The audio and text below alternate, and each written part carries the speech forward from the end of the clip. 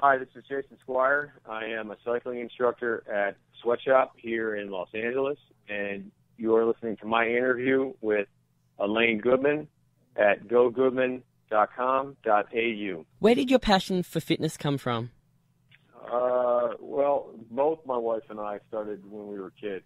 Um, Mimi uh, spent some time in Australia uh, during her formative years, and uh, when she was 13, 14 and when she was over there, uh, their fitness that they do in school was is completely different from what we have here in the states. And so, in the wintertime, she spent a great deal of her school time skiing, cross country skiing, downhill skiing, doing a lot of different things. Fitness was a big part of the curriculum there. So when she came back to the states at age 15, she found that she was suddenly, you know, at a loss in terms of uh, getting on all this energy because there just was nothing here to match it in her school in, at school. And so then she started searching out things. At, at age 15, 16, she started she started spinning when she was 16, which is even even in the states that's quite young. And so uh, her passion for training started then, and it's never faltered. Um, for me, uh, my whole family all have big fitness backgrounds, and so um, growing up was just sort of part of my life. And then I got pretty serious when I turned 19 started bodybuilding for many years and then transitioned from that into triathlons. And um, at about the same time as when I I didn't discover spinning until I was 31, and that just became a big part of my life. Uh, something for fun. I started teaching uh, just as a sidekick. Um, it wasn't didn't do it for money. It was just doing it for fun. Mimi and I met at a spin studio. Uh, started dating within a couple of years got married, started a family, and then one day uh, she literally said we were sitting at breakfast, and she's like, "I think we should open a spin studio." And I said, uh, "All right, I'm I'm game." And she's like, "But let's make it a heated, a heated room." and I'm always up. The harder, the better. So that sounded fantastic to me. Uh, it all it literally all started right there, and then we started working on it. it took us about a year uh, before we got the actual studio open from that point. Let's backtrack a little bit. Did you say you originally were into bodybuilding and then transitioned into into triathlons? Yeah, for me, yes. That's how that was. You know, I grew up in a family. My brother was a big athlete. He played at minor league baseball for a while. My mother, my earliest memories of my mother are of her running on the track. And um, my brother and I were both very athletic, as was my sister. So it was just part of the family. But I, I didn't unlike my brother, who has a very clear, direct talent, my sister too, she was a swimmer. I wasn't very good at any specific sport, and so at about 19, I just needed a I needed a, a channel for all my energy, and uh, that sort of seemed to be something that did take a lot of skill per se, in terms of you know agility and things like that. And I took to it. My body took to it very quickly, and I found that it was something that both uh, I mentally and physically was matched for. And so for the next I'm going to say about eight years. That's about all I did was bodybuilding. I just I, I'd hit the gym, split workouts twice a day. Uh, probably spent about two and a half to three hours a day in the gym those first many years, which you know some would say is overkill. Others would say that's about right. Some would say it's insane, but you know, uh, for me it worked. And then um, I had a couple injuries, and I wasn't a pro, you know, I, I was never going to actually compete. I wasn't that good, but it, it taught me a lot of things about um, discipline and form and how to do things properly. And as I slowly transitioned out of bodybuilding, I took all of those principles and applied them to the other formats of training that I did, and I found that the um, underlying principles were the same, and they helped me, especially when I got into spinning. And as part of my teaching, a lot of what I, I learned in bodybuilding, a lot of rules I learned there, I apply to the spin bike into class. Um, that's that's how I've gotten to it. How long did it take you to transition from bodybuilding into triath into being a triathlete? Because it's not only losing the weight, but I wouldn't imagine that bodybuilders have an extreme fitness base like you need for, for a triathlon. So how uh, so how long did that well, transition take? You know, it was spinning was a part of that because I did have to lean out and I did lose weight. I was I, again. How much weight did you lose? Uh, I, I'm uh, I'm I only dropped about 20 pounds, So it wasn't like I, I'm not a big guy to begin with, so it, it was not like I had to lose a lot. If I had really wanted to try to compete on a semi-pro level, I would have had to lose probably another 20 pounds because it was just I still carried too much muscle weight than what would have been you know ideal. But I would say it was about a two to three year transition, and I still lifting weights is still a very key part of my training. I've never given that up. I just don't do it anywhere near the scale that I did, you know, 15 years ago. It just it doesn't serve purpose for me. But I still go to the gym about three days a week. I do about an hour of weights, you know, which is is you know, if you talk to anybody who's actually a heavy weightlifter or bodybuilder, that's not a lot of time. But for me, it, it maintains what I want, keeps me strong. Given all of the um, all of the, the studies that have come out over the last five years about the positive effects of weight training on your body as you age, as well as helping the mind, you know, I've discovered that these are things that I think I'll probably keep. I'll probably keep it part of my training regimen until I can't do it anymore. What's your aim fitness wise? Obviously, you said you're you're a triathlete, and now you're you're big on spin and uh, heat training. Is was there something more back then that the dro- that drove you than just being fit and healthy? Was it a confidence thing? Uh, I, I would say it was a sanity thing.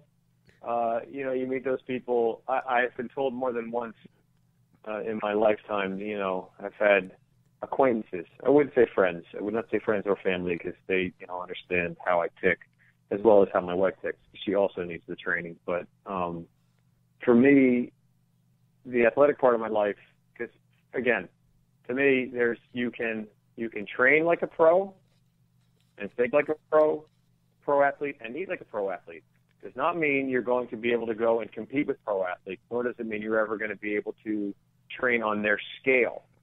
But given what your natural abilities are, you can behave the way they do and reap the benefits of that. And that, to me, I fit into that category. I, I've never had, I've never been quote unquote talented enough to excel and where I would stand out in a crowd in terms of my overall ability, you know, if we did a race or anything like that. However, my mental capacity, my desire for it, that, you know, has always been there. And um, I've always needed a, a physical outlet to basically center my life. And that's what the training does. I, in fact, all from college on, my my weekly schedule has always been built around my training. Even though it's not something I make money on, I mean now I do to a degree, but it's always been something that I I would always lock my training schedule in first. The entire rest of my day got built around that. Work, play, family. Now it's family and and uh, that stuff, but it still all gets built around that. It's a little harder now than it used to be, but to some degree, that still still works that way. Now, I read that it took Mimi 11 years between 96 and 07 to master the medium of cycling. I'm not sure how long it took you. I'm guessing around a similar time. What does what does that exactly mean to master spin? Uh, that's a good question. well, you know, well, I mean, only because I, I come at it. I've been teaching now. Let me see. I started spinning in 2001. I was in my early 30s, and um, I was, you know, quite fit and athletic at the time but the spin bike took me in a way I was really very bad. I was really terrible on it, and it took me a long time, six months even, till like I was even remotely adequate. And that's one of the key reasons I teach is because because it took me so long to even feel like I was doing something rudimentary, rudimentarily, rudimentary decent on the bike. I one day went, that's it. I'm just gonna, I'm gonna, I'm gonna own this bike. I'm gonna become a teacher, and I'm gonna get really good on it. And then I literally went to weekend certification, and I got certified. And then I just, like anything in my life, I threw myself in with everything, and I started teaching. I mean, I had a full-time day job, but I still, I started teaching five classes right out of the gate. At one point, I was teaching nine classes. I taught every, I always taught on the bike. I don't instructors who teach off the bike no disrespect, but to me, that's not really teaching spin. You you got to be riding with your students, and you have to be on it. And so, in, and in terms of mastering it, I would say I've been teaching now uh, 12 years, and I still feel like I'm a journeyman as a teacher. I mean, I consider myself a good teacher, and um, I, but I continue to learn on the bike every day from a teaching standpoint by watching, you know, what the students like, don't like, you know. Um, I try new things, and that may seem months I'm doing what doing. So much you can do on a spin bike, but given the range and of music that's out there, and a spin bike is different from a road bike. A road bike is pretty clear how you ride a road bike. I mean, you, you are most of the time in the saddle. To come out of the saddle, you only do that when you're climbing heavy hills or you're doing a solid pickup. Spinning's completely different. The bike's ergonomically set up differently, and you can do a lot of work in third with lightweight, medium weight, heavyweight. You can move down to the saddle, and then you have all the different moves that you can get done. You've got jumps, push-ups. You've got all kinds. And some studios do more than others we don't like to have a huge range of movement at the studio, but there is some.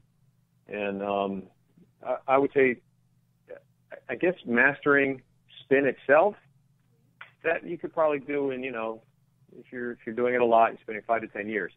But mastering the ability as a teacher in relation to that, just like I would think any profession, you know, it, that takes 15, 20, 25 years to truly become a master. That's that's a personal opinion, just about you know, trying to teach people and understand what your job is as an instructor for the people that you're training with. I mean, I, I'm I've been involved like going to the gym for a long time. I go I have a personal trainer and I've done weights and I've done cardio. It just depends on which tra- which trainer I have at the time. And when you th- yep. when you think about weights, there's always something you can do that's harder than what you're currently doing. Even if you get to like the heaviest level, you can slow down the reps or you can you can speed up the reps or you can do one arm at a time or th- there's tons of different things and to master it it just takes ages like for example martial arts if you do martial arts you can never master it completely because there's always right. more I, things to do I agree well that that to me that's how I do look at all of this I mean in my in my mind, a true master is someone you you you literally understand everything about what you're doing internally, and you there is no stone unturned. So, by that definition, can't really be a master until you get to death. Exactly. Now, I'm taking it to an extreme.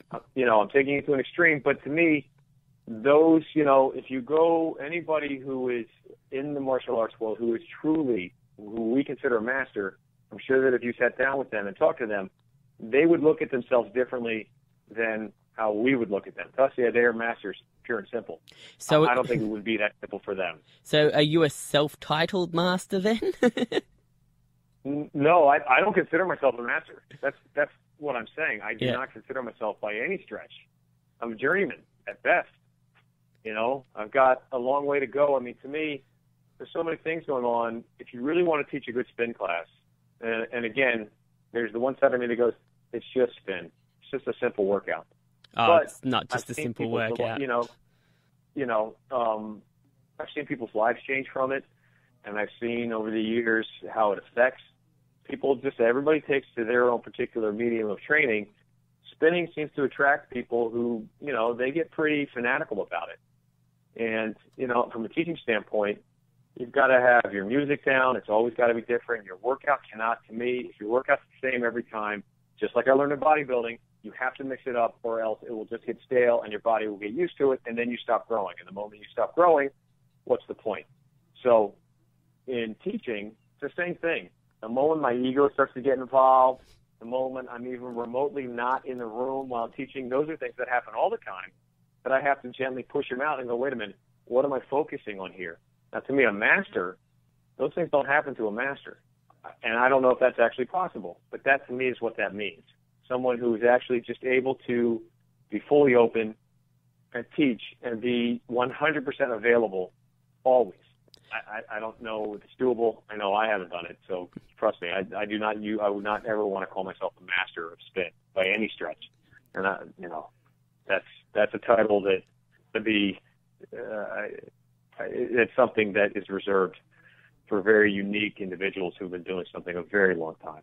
What was the thought process behind the discovery of yours and your wife Mimi's very own spin technique, the Sweat Shoppe? And it's spelt S H O double P E. Is it still still pronounced shop? Yep, still shop. it's just the French. Okay. French. Shop um, that's all my wife. I mean, my wife came up with the idea of a hot spin room, all the branding. She she created the name. Mimi did anything you see in the shop. She literally wrote. Now it's funny. I'm the teacher In, in terms of us in the couple. Mimi doesn't. She is certified. She could teach, but she doesn't teach classes. She does, however, do all of our training. She trains all our instructors. She wrote the manual. She does all of that. I don't handle any of that. And so we do make a good team in terms of, you know, I'm in the room every week. I'm teaching. I teach five classes a week. Uh, but Mimi is the one who actually trains our instructors who are on the floor teaching. And she put our, our program together. And so the program – I can't get into specifics about the format of it, but we basically are a classically trained spin. So if you know about spinning, there's a lot of differences out there. A lot of um, we believe really in utilizing the flywheel quite a bit uh, and using resistance as a part of the training. The heat itself we consider to be a training tool. It's not a gimmick. We've had uh, from our own experience, from people who've spun with us, plus there have been studies done that prove the training in the heat for example, the University of Oregon did a study of um, elite athletes, and they found that the athletes who trained in heat on a regular basis, their output increased by 7% over the um, other group who did not train in the heat. Now, to some people, 7% may not sound like a lot, but at an elite level, that's a significant gain. We take that down into our room um, with our riders, and we do have, we don't have any pro athletes yet in our room. But we do have quite a few Ironmen who train with us. Who uh, we have uh, guys who do anywhere from four to seven Ironman races a year, and they swear by the room in their off off season training. They've all said that to to a guy, they've all said that the room has helped them increase their output considerably in their racing. And then we've got a lot of people who have lost significant amounts of weight over the last few years. I, I consider heat, the heated room, to be an integral part of that. It's not the only reason because there is a lifestyle branding that goes on in our place with uh, the chatter, the friendships that happen. You do as your as others do. You spend time with them. You will start to want to, you know, if they are in better shape than you and you spend time with them, you want to start to, you know, do what they're doing because it's working. So, you know, there's that as well. But I consider the heat to be an integral part of that, that progress and that success in the training. What were some of the tests and requirements you had to meet before you started to promote your own fitness technique? Uh, we didn't have, you know, um, when you say, I mean, rephrase that in terms of there's nothing regulating us. Okay, so there's nothing um, like, uh, like, for example, occupational health and safety, or there's no like fitness governing no. body or place you can go where the research is all done for you, and you can read over it just to make sure everything is covered. Well, I mean, we've done our own. We've read a lot of studies over the years about heat in terms of where do we go. The, the first, I will say, the first year that we opened, it was a little bit hit and miss in terms of, you know, we were just sort of testing it out. We initially opened the studio, half our classes were heated, half were regular spinning. Um, we have a classical style spin studio, for example, the entire new wave of spinning, uh, which started with a particular studio out in New York the large majority of spin studios out there have copied that style, and they have about 35 to 40 minutes of spin, and then and they utilize weights throughout the class. Now, I personally don't feel weights on a bike when you should be in a prone position, laying, you know, you're leaning forward, and you have to be careful of your back. I don't see how utilizing weights on a bike, one, is safe, and two, can be in any way effective. Given my background in bodybuilding, I, don't see how you know doing some curls with a two pound weight in your hands while you're spinning on a bike is going to be at all remotely effective for building muscle. But that is where a lot of the spin world has gone um, because one, one, two studios have had very a great deal of success nationally. We, however, do not do any of that. We have our own training program. It's more classically aligned. All 50 minutes is riding, spinning, and then we have a five minute stretch. And I do feel calorie burn wise, you know, we've got some of the highest calorie burn happening in the spin room. Uh, the combination of our training program and the heat uh, I, I'd be probably pretty comfortable saying we have some of the highest calorie burns on average happening of any spin studio in the country. But in terms of, um, to get back to your question, sorry, the answer uh, regarding um, safety, that first year we did sort of just, we, we didn't know exactly what we had. We read some of the studies. We know about heat. I, I mean, just from, you know, we knew probably didn't want to go over 85, 86. And that first year, we, uh, the room was not set to exactly regulate the way we wanted it to. So sometimes it would get up to 86, 87, and I would watch the room as we were teaching. Your uh, exceptional students, they had no problem up to about 87 degrees. You get above 87 degrees, starts to become anybody's game. I don't care how good a fitness you are, if you haven't had enough water, whatever. It, it could, you know, on a bad day take you down. Uh, 85 degrees is about the marker for average people. If you're just an average workout person, you get doing that about 85, you're good to go. But above 85, it starts to get a little, it, gets, it can get a little questionable. 83, 82, 83 is where we run the room. We found that that is an ideal temperature. Uh, we have all walks of life in our studio. We have people who are carrying a lot of extra weight. We have very thin people. We've got everybody in between. We don't. It's not like you know, we don't have a bunch of um, elite stealth athletes training in our studio. We've got a solid cross section of everybody out there, and they all love it. So uh, we did over time. We did develop the 83 degrees. It's about the safe marker. That's about where you want to keep the room. So 83 degrees Fahrenheit. I think 100 degrees Fahrenheit is about 37 degrees Celsius. So it's probably what just below 30 degrees Celsius, maybe about 26, 27 degrees Celsius. Is that?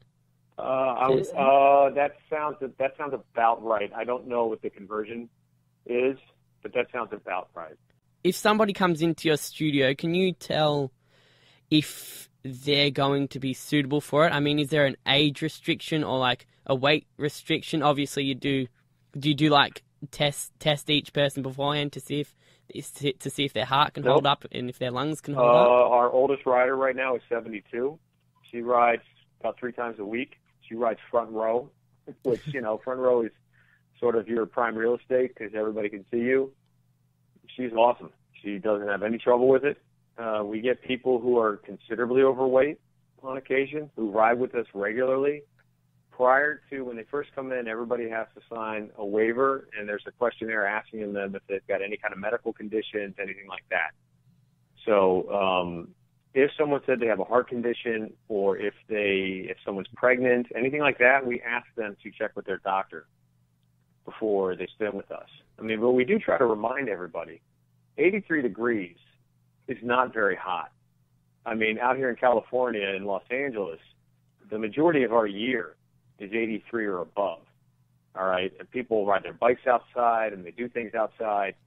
It's just that when you combine that heat with a very intense workout, it forces you to become very focused in your training because you have to teach yourself how to breathe properly. And most people, they go walk around in 83, 83, 85, 90 degree heat. They don't think a lot about it. They just, it bothers them because they don't want to sweat. But it's not like, you know, people aren't used to that. I mean, back where I grew up, I grew up in Pennsylvania on the East Coast where in the summertime, you had 90 degrees and all the humidity. I didn't stop, that didn't stop me or my friends from running around all day long in the summertime. So, you know, I think the heat to some degree is a little overstated at the concern of it. We, you know, up to date, we've been open now a little over four years, and we as of yet have anybody to come to us and say, "Hey, I, I couldn't do this," or "This caused this this medical problem." I mean, so we do screen people. So as long as they're telling the truth on their forms, uh, we haven't had any problems. Now, I've uh, I've studied fitness. I've been involved in fitness for most of my life for various health reasons. Um, the first question that comes to mind about this is one of the, the things that I believe. I don't know if it's a shared belief, but the first issue that comes to mind for me is shouldn't athletes be the only people that are training like athletes? I mean, is there is there kind of like a a mark where it becomes too intense that it doesn't become fun any fun anymore? That's a good. You just tapped on something. This is specific to me as as a teacher because I talk about that. Okay. So here we go. um, this this is my mindset. You're talking to a man I don't have any special skills as an athlete. Uh, if I went and ran a triathlon, and if I did a triathlon right now, I would finish middle of the pack at best. If I had to go play a basketball game or try to play a baseball game, I can't hit an 80 mile per hour fastball. I can barely hit a 70 mile per hour fastball. My brother, however, can hit a 100 mile per hour fastball. He has special skills. I do not. So when you're talking about people who think, train, eat like athletes, that doesn't mean that when I say train like an athlete, literally train like an athlete, literally go do what uh, the guys on the LA Lakers are doing for their workouts or what the guys for the Philadelphia Eagles are doing in their workouts. I don't mean it literally. What I mean is is that pro athletes, Olympic athletes, everybody, an elite athlete, when they train, they train with purpose. They train in a way that they want it to transform them. They never go to a training session thinking, hey, I'm going to go do this session today. It doesn't really matter if it makes me any better or not.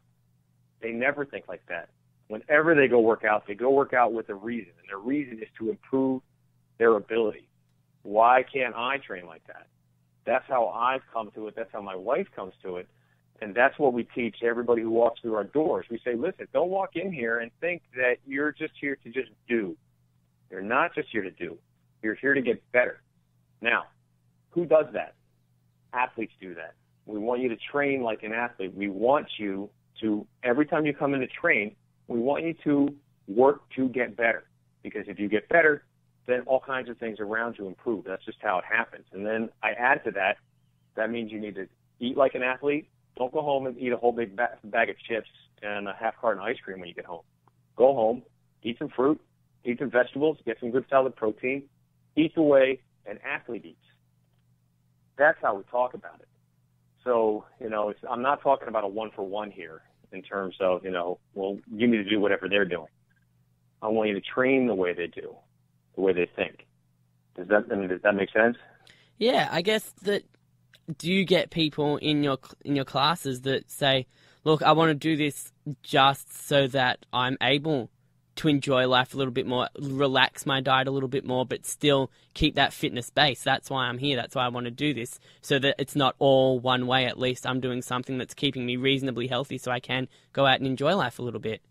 Because that that's probably why I'd say that's probably why the average person goes to the gym.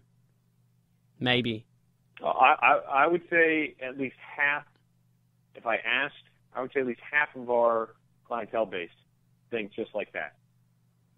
And is that an issue But- for you? Does that go against what you just explained to me? No, they- they're telling me that. It, I I look at it this way: if someone says that they just want to come train, and they don't care if they get any better, and they don't care if the class actually does anything for them, then I'm going to say, if I got up on the bike every day and I said, hey, okay, so just kind of do whatever you can do. It's okay if you don't do a lot. That's not my job.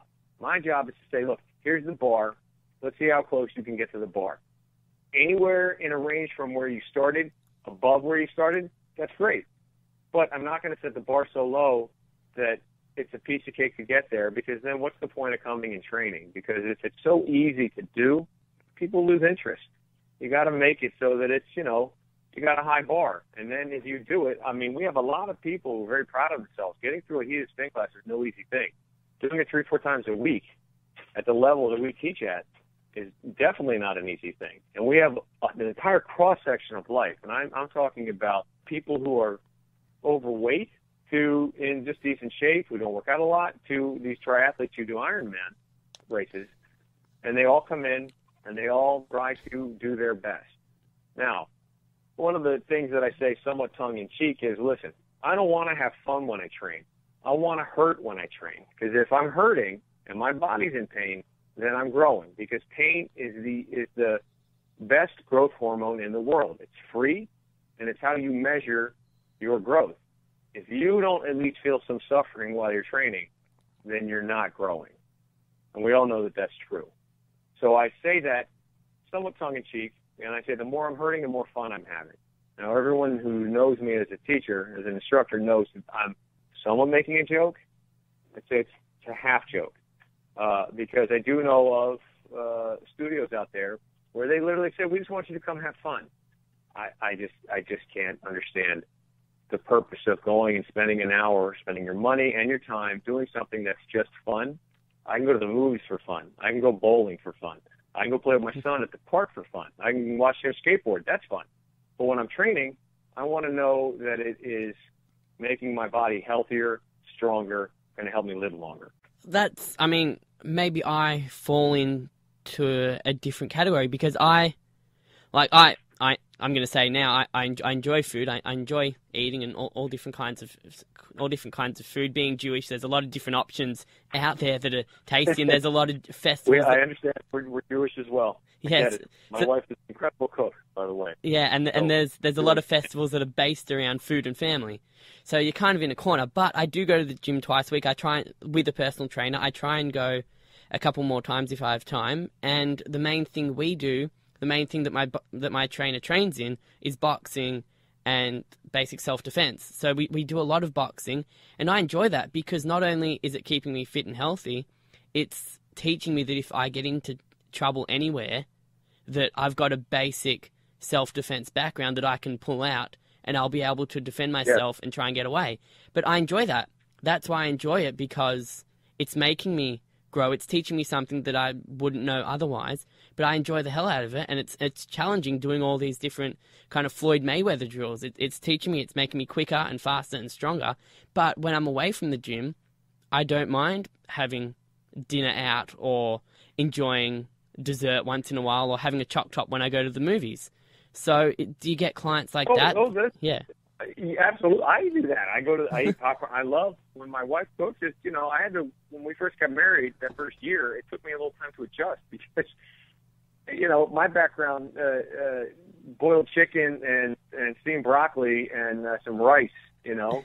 I get married, suddenly I had this, uh, my wife cooked all these wonderful, really tasty meals. And I had to, I was never used to eating so much. Then I started to put some weight on. I said, wait a minute, I gotta, I gotta figure this out.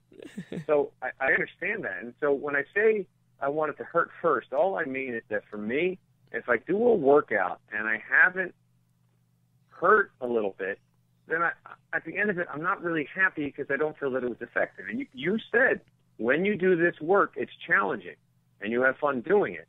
I have no problem having fun with the workout if it's yeah. challenging. But if for someone who just goes in and they do it because it's easy, I, I would just, that begs the question, why? Why are you going to go do something that really doesn't have any long-term impact upon the healthy condition of your body, the um, physical shape of your body. Now, if they say I do it because it really helps me mentally or emotionally, I get it. Okay, fine. That's that's completely fine because to me, training should help you physically, mentally, and emotionally. Yeah, I mean, bo- boxing. yeah, doing all the different. All three of those things. Yeah, doing all the different boxing routines, that's mentally challenging for me as well because I have to remember them all. We do it slowly, but then I have to remember it all and put it all together. So it's challenging me mentally as well. Yes. And, and to me, that all needs to be there in a, in a true regular, if you're going to train with someone on a regular basis, if they can't be hitting those three elements, then I start to question how effective the training is. And I just say that everybody, like I get students who come and say, they can't do they literally can't do some of the class. They will sit up, they will slow down, but they don't leave and they stay and they continue to push, which tells me I know them. They're not slowing down, they're not dogging it. They just hit their limit. And their limit was about, you know, happens about 35 minutes into class or something like that, or after some heavy push. Whereas I have other students who they don't even lift their head. They're locked in the whole class. They never slow down. They match me, you know, turn for turn on the bike both weight as well as fly. I mean, as well as uh, getting getting the wheels around, and that's the variation. So that's the beautiful thing about the spin world is that because you control the bike, you can define how light or heavy you want your ride to be. My job is just to guide and try to set a bar that everyone wants to get to. You know, that's how I look at it. I think I think my wife would agree with that. The second issue is, and it kind of links onto that. You say it can burn up to a thousand calories in an hour, which is basically two thirds, two thirds, maybe half of a healthy daily diet for a male. Is that too much in one session. That goes back to shouldn't uh, shouldn't people that want to be athletes only train like athletes? Well, okay. So now remember, calorie burn is tied to size. So like people I see burning a thousand calories, always men. I've yet to see a woman get anywhere close to that, just because of the difference in size. It's always men, and it's generally big men. And I don't mean big like heavy, like fat. I mean big as in these are big men. Bodybuilders, six foot, six two, six four. These are bigger guys. They're burning a thousand calories. I've seen it. I've, I had a guy show me two weeks ago. He burned over a thousand calories in class. He's a big guy. He's probably supposed to be eating somewhere around four thousand calories, four to five thousand ah, calories a day anyway. Right. Given his size. Now, uh, women, a high burn for a woman, a normal sized average woman is going to be, she gets to 700 calories. That's a good solid burn. It is rare for me to see smaller women, like, you know, uh, 100 pounds, 110 pounds. I rarely see them hitting that 700 calorie mark. Generally, I, I see five to 600. But that, even that right there, that's a really good burn ratio uh, for a class. All right there's very there's there's exceptions to that. I get women who do burn more who are smaller or whatever. But I, I'm just saying, you know, you gotta. It's not that's not just something you relate to everybody. You have to remember uh, height and weight as well as age. You know, those those those things do play into it. So the thousand calories people that, that burn that they, they're so that's like calories. the like the maximum would be around a thousand calories. Most people wouldn't hit that. I would I would not I would not expect your average person to hit a thousand calories. No they would have to have they'd have to have a pretty high metabolism and they would have to be really cranking, you know. I mean, we count it because we do have people who do it. Um, even for me, I mean, I weigh in somewhere around 185 and I, I don't have an exceptional VO2 max or anything. So, but I would say my best calorie burn falls somewhere in the mid to high eights. And that's not always, but I do get there sometimes. And I do get other guys my size who get up to 800 calories. You know, and you, and you got to remember, you're in that calorie burn. If you're eating properly, you're going to maintain some burn like that throughout your day. So if you're trying to lean out a little bit, it will help. But again, some of this plays into you got to be eating properly. You have to be eating three to four small meals a day. You got there are things that go along with it that will maximize the benefits of it. What uh, you touched on this a little bit earlier. What added benefit does heat training have as opposed to training at a normal temperature? Well, uh, okay, so this depends on who you talk to. You could say it's debatable for us from what we've seen. One, you have an increased VO2 max. It's going to, you know, that has been tested and, and done. University of Oregon did one study um, and proven that you train in the heat, it's going to increase your overall uh, physical ability. Okay. For me, also, it's a detox because you're, you literally start sweating within five minutes heat's on at 83 degrees. You start moving. We do a warm up. I would say just about every person in the room is sweating by the time you get done with the warm up. So warm up lasts about the first seven to ten minutes.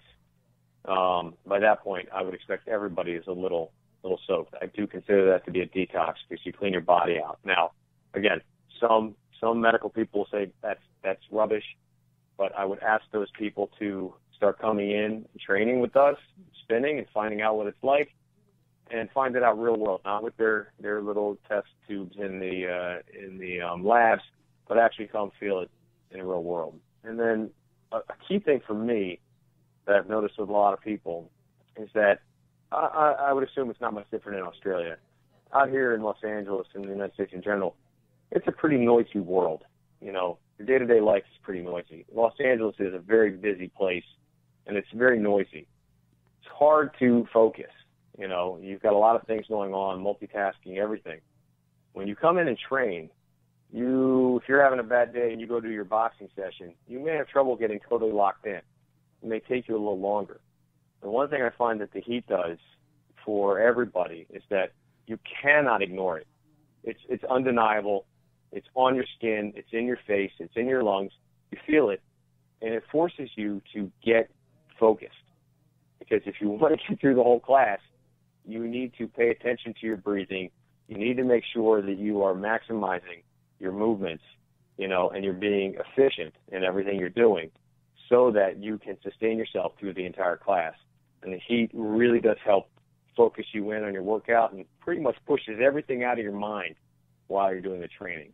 That that's true for me, and I've watched it uh, have that same effect on a, a large majority of the students I train with over the years. I mean, adding the aspect of heat, it seems like a simple idea. I'm sure there's more to it, but on the surface, it seems like a simple idea. Why hasn't it been trialed before you guys did it?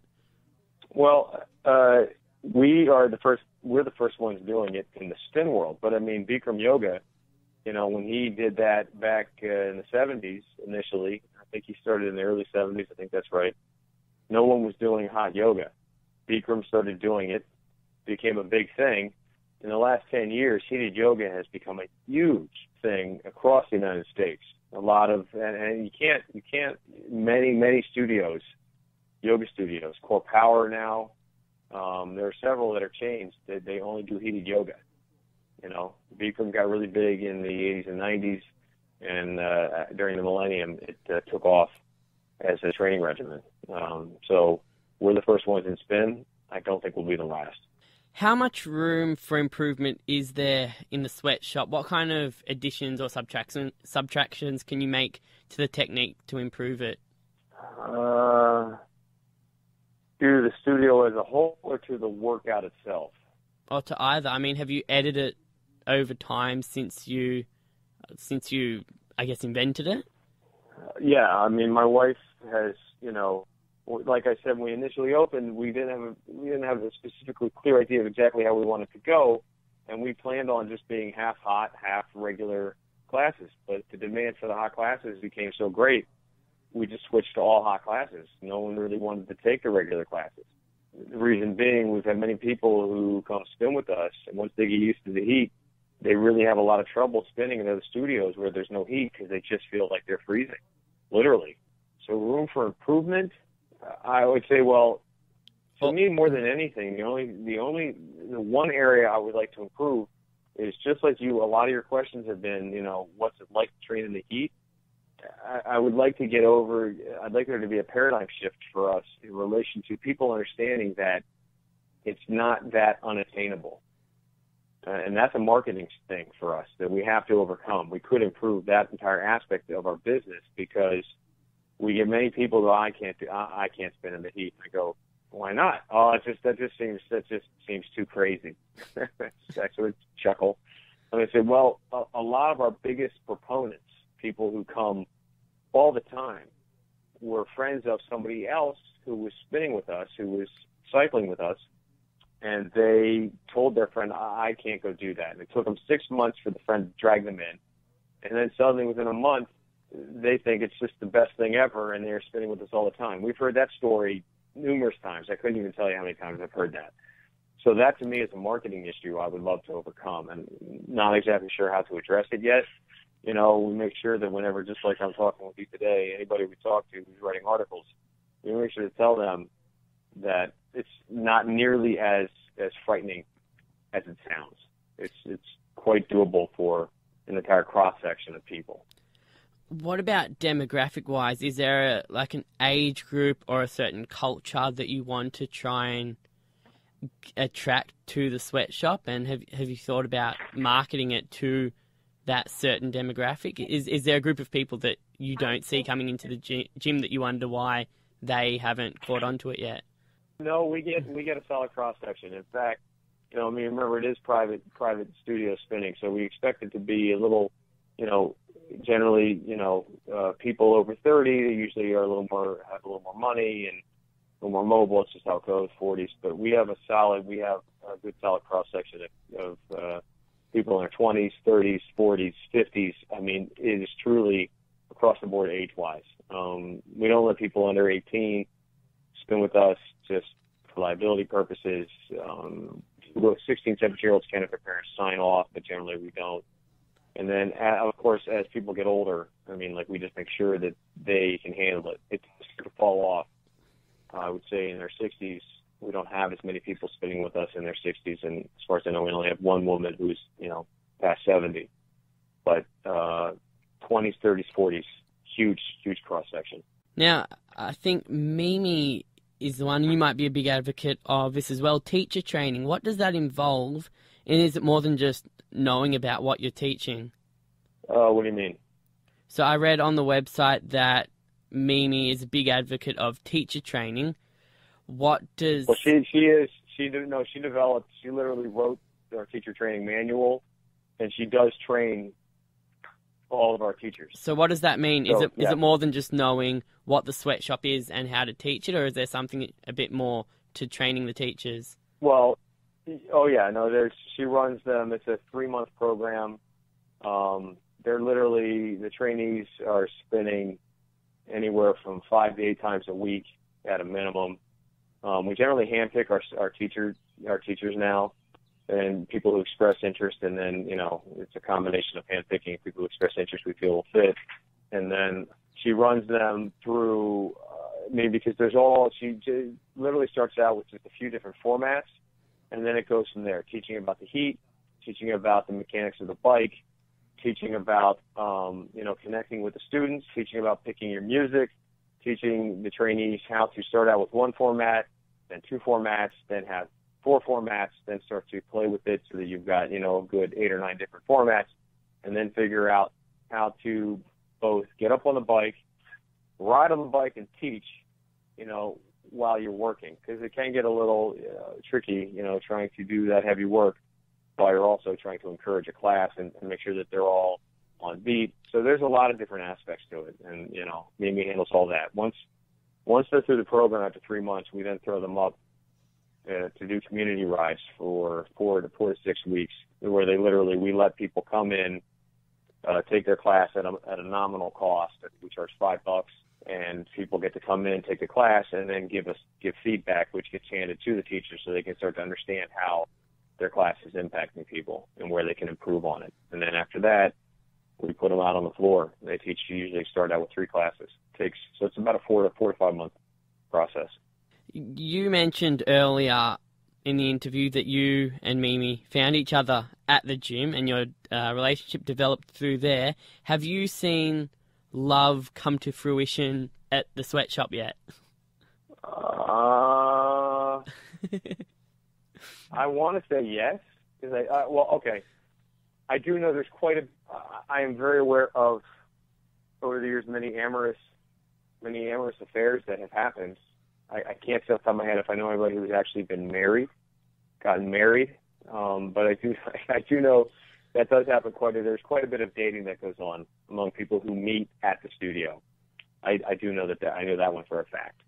Um, I'm, I'm just trying to think right now if there's anybody I know who's actually met and got married at our studio, and I, I don't I don't think so. What's the process? I mean, the fitness in- industry doesn't really pop out to me as someone as as an industry that needs a publicist. How did you guys get a publicist? I mean, I found out about you through your publicist, Alex. So how does how do you make Yep. that um, that transition from just marketing Oh, yourself uh, to taking the next no, no, big no, step? they're, they're a completely different world than you think. Ah. Um, all all the major studios out there, all the major spin studios, they all have gigantic. They spend they spend a good amount of money on their PR companies. It's in, in fact we tried to hold off the first. We just hired a PR company finally after four years um, because Mimi was quite successful uh, with what we were doing in terms of getting us known out there. I mean, within the first two to three years of being open, she got interviews. She was called for interviews in the New York Times, LA Times, um, quite a few national and international magazines, just because of what we were doing. And we found in those articles that often it was us, and then four or five other national brands um, on it. Uh, so yeah, the the big studios, spin studios out there, they all have major PR PR companies. I mean, big campaigns. Is that an American idea? Because I don't think that happens a lot here. Obviously, the trainers on The Biggest Loser would have publicists, but just uh, like Well, the, the exec producer, we're the biggest loser. He spins with us. Oh, really? Yes. Is he a fit guy? Yes. I mean, his wife is one of our uh, went through our training program. Is one of our trainers. okay. So yeah, she she's in fact one of our teachers.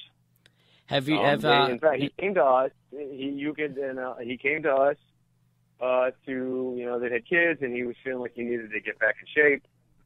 Started spinning with us, and then just got really into it. Uh, his wife came to us because he told her, you know, suggested she come, and she's very fit, and she got just fell in love and wanted to go through our teacher training program, and she now teaches for us. So, have you ever been asked to get the Sweat Shoppe on to the Biggest Loser? Well, they by the time they came to us, they already had a they, they've got an agreement with um, I forget who their fitness people are. Um, we honestly, my wife and I, sort of shied away from doing anything that would even. We don't particularly want to be on any shows or anything. We have been asked for a couple things, and it, we we just don't want to do any reality TV. Fair enough. At the moment, because sometimes you you can't control the direction of that television. Right. Yeah, editing is powerful. You know, sometimes it's great and sometimes not. You know, and not being able to guarantee that it would be the kind of press that we would want. We just haven't gone that way. And finally, now, specifically, just specifically, I'm not speaking specifically about Biggest Loser. I love that show, and they have a very great thing.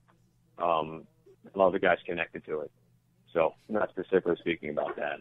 Finally, where can people find you and learn more about the Sweat Shoppe? Do you have a plan to take to take um, the Sweat Shoppe overseas or to other states? And where can people learn more about uh, you? We do have plans to expand. That is actually in the works right now. We're talking we're talking about some expansion right now. So um, we are working on it.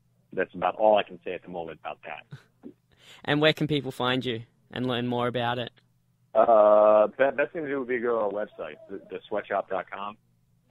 And that's T H E S W E A T S H O P E dot com. Yes. Yes. Cool. Thank you very much, Jason. It's been a pleasure. Good luck with it. I hope it makes it out to Australia one day, and I look forward to, to following your progress. Awesome. All right. Thanks, man. I appreciate it.